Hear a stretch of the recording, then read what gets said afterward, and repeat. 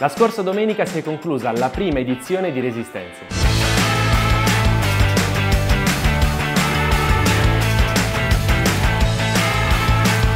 State quattro giornate ricche di attività, dibattiti e tantissima arte. Al Crazy Plus di Palermo abbiamo parlato di occupazione e di disobbedienza civile come pratiche di lotta politica, del genocidio in Palestina, di fascismo, del caso Assange, della libertà di stampa e dell'arte come forma di resistenza. Questo progetto è stato possibile solo grazie ad un immenso lavoro di squadra. Ringraziamo tutti e tutte coloro che hanno partecipato ai laboratori e ai dibattiti.